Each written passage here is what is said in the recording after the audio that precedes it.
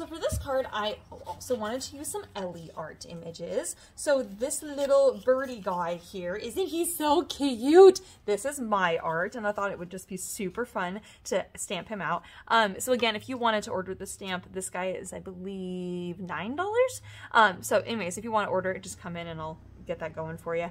Um, I am keeping the original just like I am with the other, the um, tree image just because I love them so much and I'm going to use them all the time. So what we're going to do here is we're going to make a collage style card. So what you're going to see here is you have this amazing wood grain paper. There might be like a metal fixture of on the, the photo of the wood grain um, or it might just be a plain old wood grain on the other side. Um, so it's totally up to you which side you like more. You'll notice there's a little bit of a color difference. I like this side because it's a little bit warmer. So what we're going to do is put double-sided tape on the side that you don't want to see.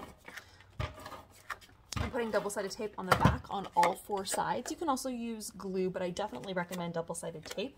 Then we're going to take our music notes. Those are going to go along the bottom here.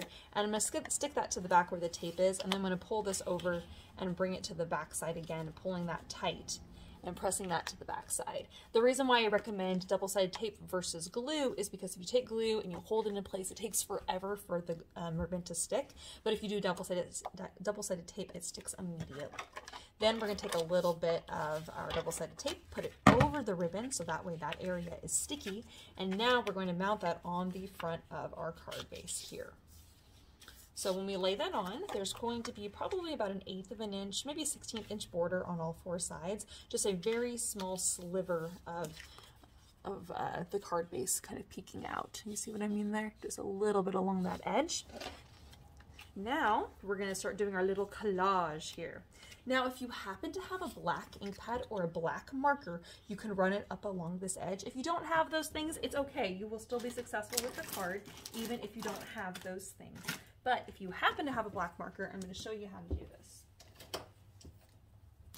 and I'm going to recommend kind of like a wider tip marker. See, this is a brush tip, and what you're going to do is you just go right along this edge like this, and this just kind of helps kind of frame that out. If you happen to have a brown color and you would prefer to do brown, again, you take a brown ink pad and brush it up against the edge, or a black ink pad, whatever you'd like.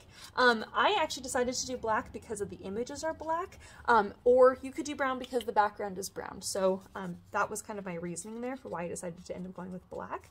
And yes, the image is ripped, and you're always welcome, you're welcome to go in here and kind of adjust those because you want ripped edges on all four sides. I think I did pre-rip some of them for you, but you might have um, a packet that doesn't have the ripped edge, in which case you'll just want to rip that down to size. So then that way you can see and read your word, but that there, there's not so much extra paper that it's taking away, um, that's going to be covering up too much of the background. So you can just rip, and you don't um, just kind of hold where that image is and then just lightly rip so then that way you're not ripping into your word. If you kind of rip without guide, sometimes you can rip right into your image. So if you kind of hold that right there as you're ripping, then you'll get a little bit, you'll have a little bit more control. Okay, so that's how we get that framed out image there.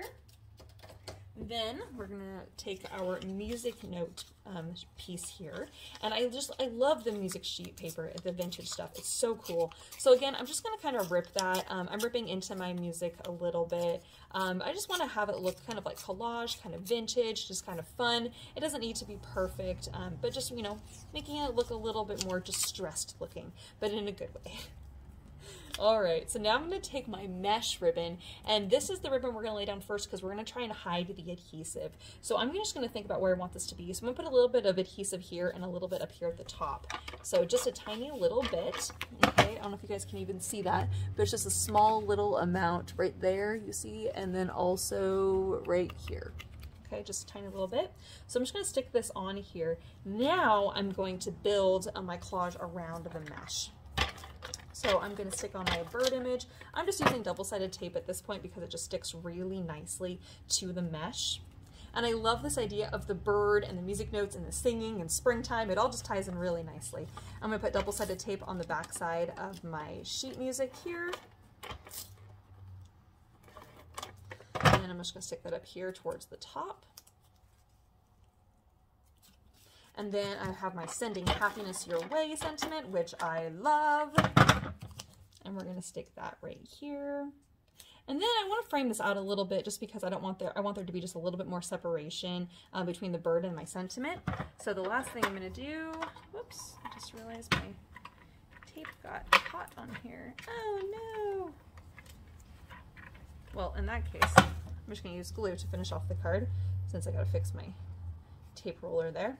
All right, so I'm to stick a little bit of glue on here, but then I'm just going to add my little music notes right here below, sending happiness your way. And there we have it. I'm just going to finish off the card, and there we go. All right. Thanks for joining me today, friends. We'll see you guys again soon. Bye-bye.